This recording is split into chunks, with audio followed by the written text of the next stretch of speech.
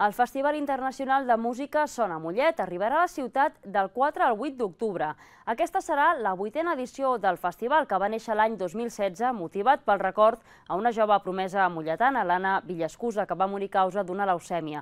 Promogut per l'Ajuntament de Mollet i els conservatoris del Liceu i d'Amsterdam, el festival portarà a la ciutat un any més jazz, piano i música de cambra. Entre les novetats del Sona Mollet d'enguany destacar que el festival començarà un dia abans. Ho farà el dimecres 4 d'octubre amb la presència d'un piano de cua a la plaça Catalunya, cedit per l'associació del concurs internacional de música Maria Canals, i tothom que vulgui podrà demostrar les seves habilitats musicals.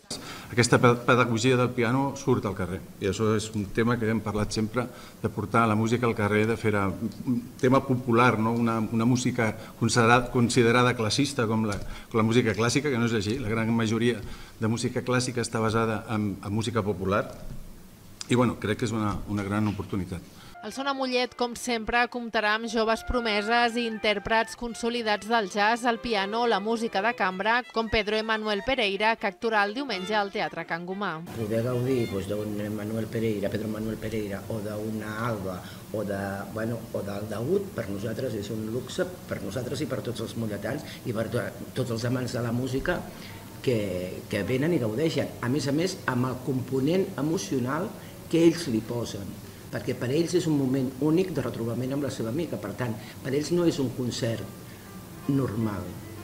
Aquest festival és solidari perquè destina tots els beneficis de la venda d'entrades a la Fundació Josep Carreras contra la leucèmia. És un festival que està molt consolidat tant amb nous talents no? com persones ja molt, molt consolidades no? i per tant molt important. Volem ser una ciutat pionera en cultura i jo crec que ho estem, ho estem aconseguint. També significa solidaritat. Sabeu que, que des de sempre aquest festival s'ha vinculat a la Fundació Josep Carreras. El jove talent molletà té cabuda en aquest festival i el cor jove de l'Escola Municipal de Música i Dansa i la Mollet Jazz Band també actuarà al Sona Mollet.